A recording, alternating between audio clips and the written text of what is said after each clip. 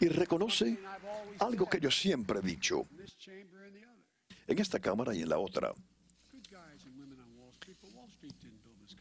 Wall Street, tiene buenas personas, pero Wall Street no construyó este país. La clase media construyó este país y los sindicatos construyeron a la clase media. So that's why I'm calling on Congress Por eso yo le pido al Congreso que apruebe la ley que protege el derecho de organizarse, el- la ley PRO, para que lo envíe a mi buró para poder respaldar el derecho a sindicalizarse. Y también le quiero decir, pensando de enviarme cosas para que yo apruebe, vamos a elevar el sueldo mínimo a 15 dólares.